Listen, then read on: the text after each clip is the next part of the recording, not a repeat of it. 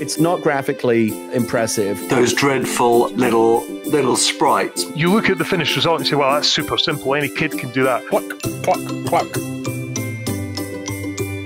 Remember, you used to look at those old magazine ads of people playing video games, and they look like this. And I would shout, What the hell are you doing? They're just stupid, suicidal idiots. No, no, no! Put the blocker there! Ah! Put that there! There's a reason why we're still talking about it here 30 years later, right? Dundee becoming the Hollywood of the games industry is one that not many people would have scripted. Lemmings was the beginning of a genre, and you can't say that about a lot of games. Stupidity, stupidity.